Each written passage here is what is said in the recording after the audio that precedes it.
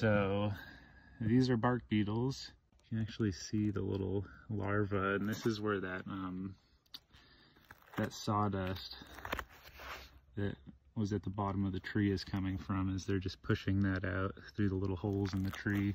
These are called fir engraver beetles and what they're eating on right now is the cambium of the tree. Cambium is the layer in between the bark and the sapwood and it's basically where all the food and nutrients and water gets taken up out of the ground so these beetles bore into the tree and they're eating that layer and it essentially girdles the tree. It makes it so um, that water and food and nutrients can't come up the tree like it normally can.